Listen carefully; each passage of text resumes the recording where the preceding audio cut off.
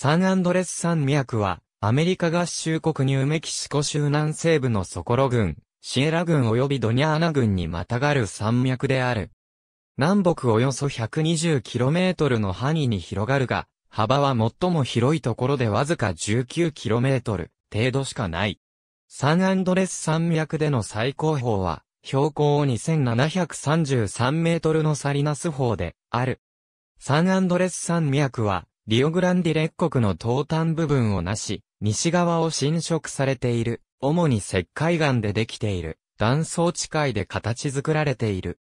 これらの山々から現れる石膏の層は、ホワイトサンズ国定記念物にある砂丘の砂の主な源となっている。オルガン山脈と南にほとんど接しているが、これら二つの山脈は、地質学的、植物学的な違いが非常にはっきりしている。北側のオスキュラ山脈は、サンアンドレス山脈よりも非常に低く、12km ほど離れている。山脈は乾燥し、不毛の地であるため、一般市民にとっては近づきがたい場所でもある。